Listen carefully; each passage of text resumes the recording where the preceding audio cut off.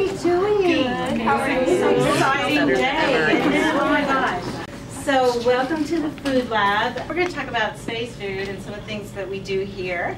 And um, please ask questions. I put some of the food products on the table. And great, you guys are taking pictures. Um, and again, you can ask me about those. There's some more up here. We've got some of the examples of the Russian food and the European Space Agency food and the Jap uh, Japanese space food too. Um, so uh, th those are uh, some of the folks, uh, European Space Agency and JAXA, they actually send food here and we'll ship those out too. But all the food is um, prepared and uh, shipped from here. The crew members will um, actually come here and we'll start off by doing a what we call a food session with them. And so they will come in and in four days they will try um, samples of all of our food that we have available for, um, for tasting. And that is to help them uh, become familiar with our foods that are available um, in their uh, stand, what we call the standard menu. That's the pantry style standard menu that's on Orbit. Um, and this is a, uh, we call it pantry style, is uh, so they can, um, they all share from the, from the food system. So, and there's eight different categories. We have, um, uh, for example, meat fish. We have um, the uh, sweets and snacks, and um, we also have soups. We have everything you can think of. Um, there was several years back in um, that we went through a phase and we were developing a lot of the food products and increasing the uh, variety of the food system because as you may have heard, um, the longer durations, think about if you're at home you open the pantry and you keep looking at the pantry, it doesn't change, but you want it to change and it's the same old food. Okay, think about being up there and you just, you know.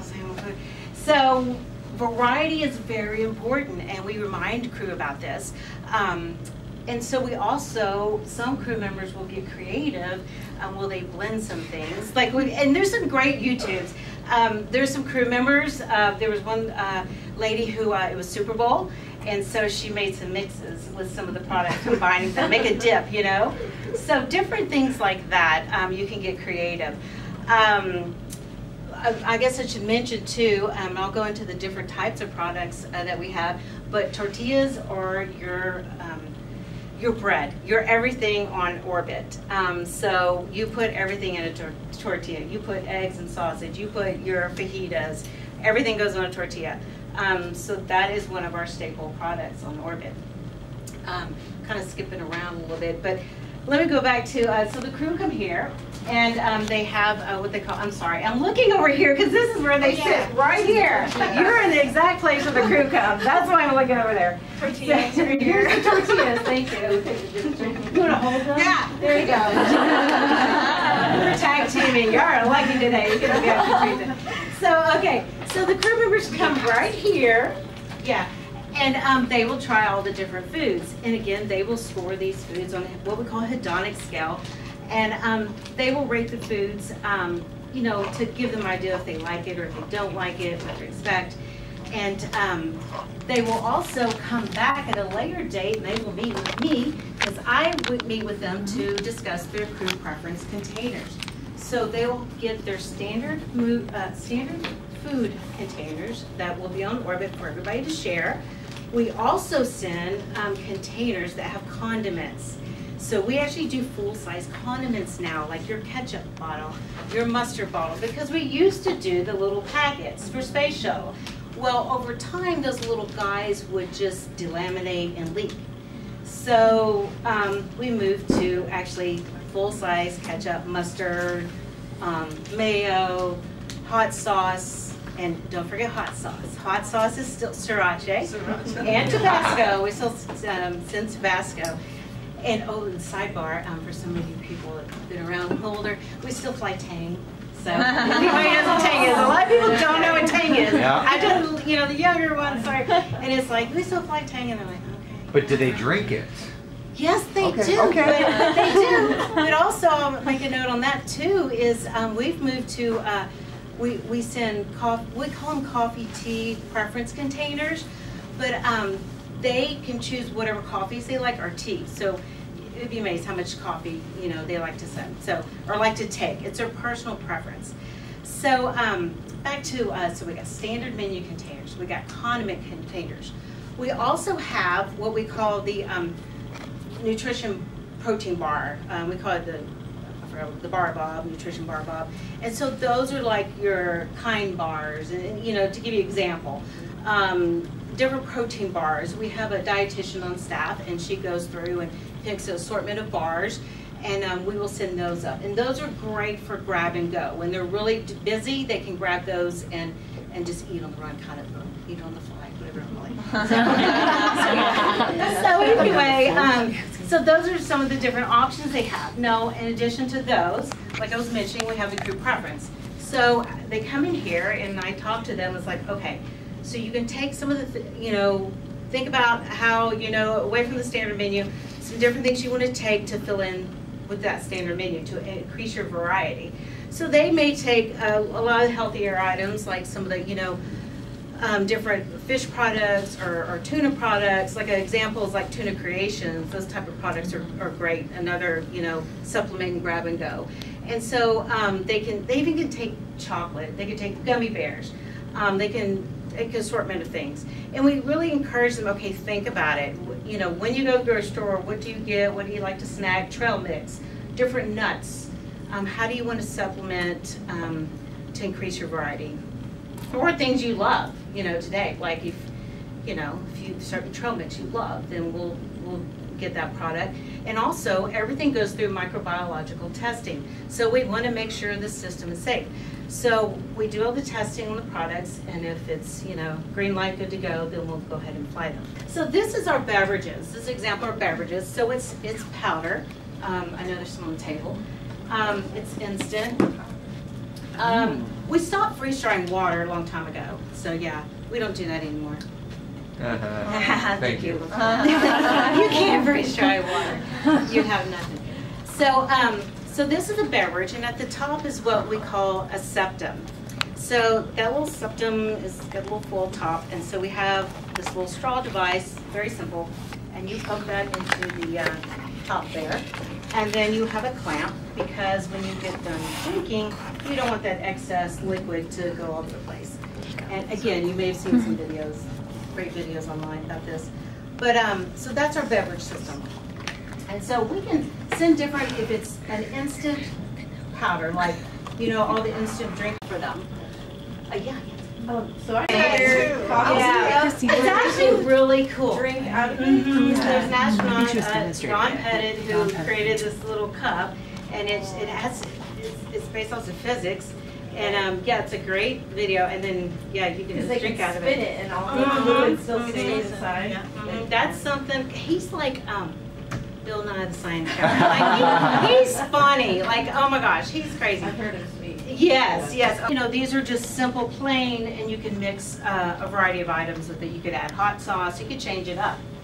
Um, ketchup, whatever you want to Keep those in my desk drawer. So we have, everybody knows these, candy coated chocolates.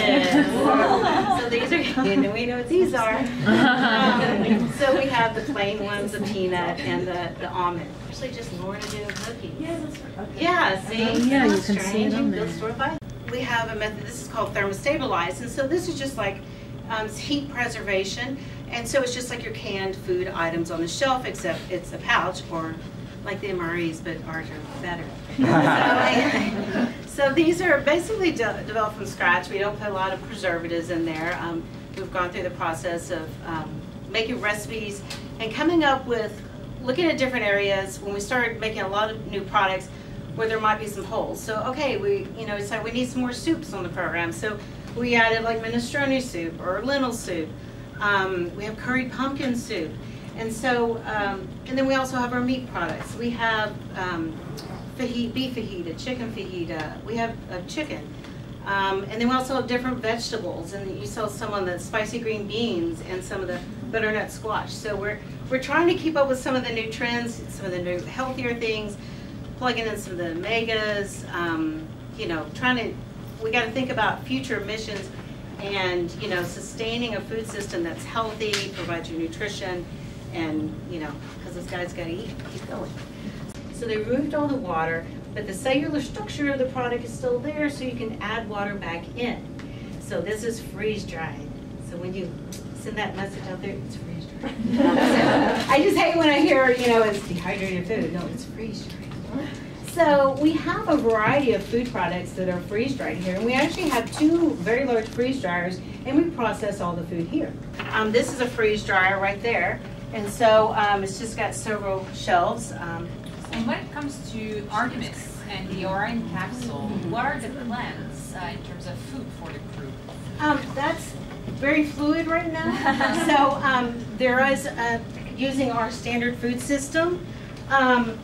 Now there, in, in terms of different missions, it may be warmed or it may be cold. So it's, it's fluid. It's, it's changing. But um, we do. We'll be utilizing our standard food system. There was a period of time um, that we thought that sodium was contributing to some issues like ocular vision problems Yeah. and some other things. And so we went through a phase where we were reducing the sodium in all of our products. It's like 20, 2010, 2009, somewhere in there. So we did a big push to reduce a lot of sodium in, in our products.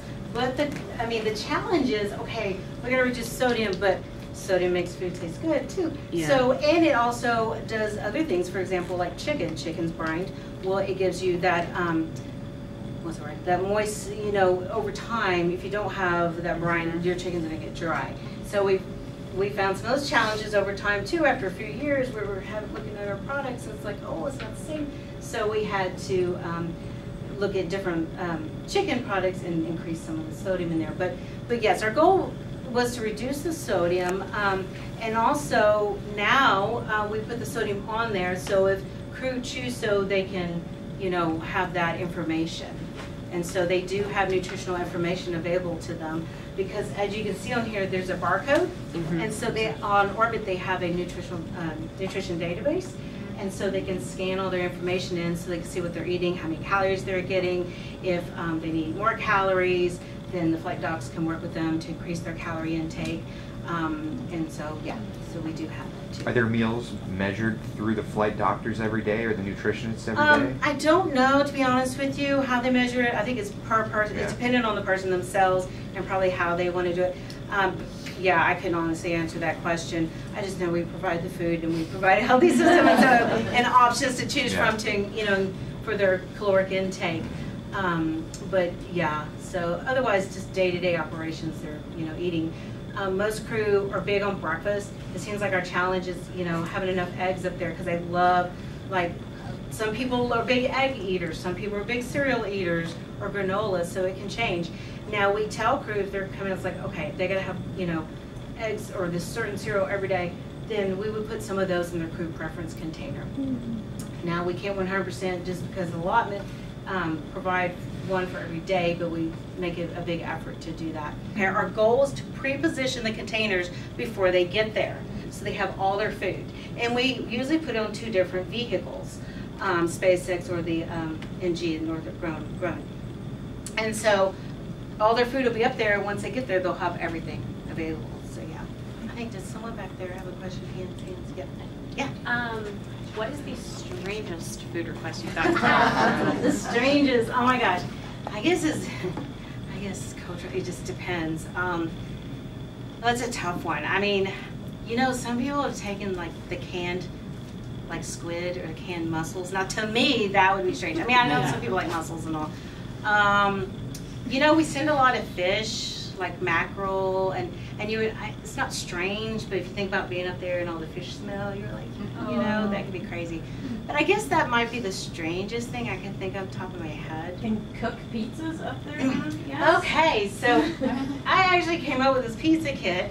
And so what it is, it's um, like the Boboli pizza. So you get that, and there's actually some um, pizza sauce. It's in a, it looks like a ketchup bottle. You can get that, and you can squeeze the sauce on, and then we'll send, um, I've sent pepperoni. So they, they go for microbiological testing, and so they pass, and we send pepperoni. We send, I've sent turkey pepperoni, regular pepperoni. So we send that up, and then um, you can also, um, I've seen some pouch like grilled veggie, veggies or grilled peppers, or there's also, um, mean, if you want to put sardines or, uh, you know, whatever, something like that on there, you can. Or I've seen, uh, have you ever seen those little marinated, um, what's it cauliflower and artichokes. Mm-hmm. You can put, I sent those up before, because you, and, and always send olives, because you can buy the little olives. You know, all those different things, you, they're shelf stable you see in the stores, you can send things like that. So you can make a little pizza like that. Um, there's a lentil soup, I really like that. We have a curry pumpkin soup, that's good. There's, um, it's kind of, it's a chicken, corn, and black bean, I like that one, because I created it.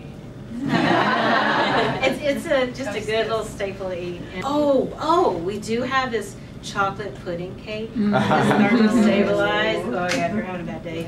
That one, You warm that up, that's good, that's good. So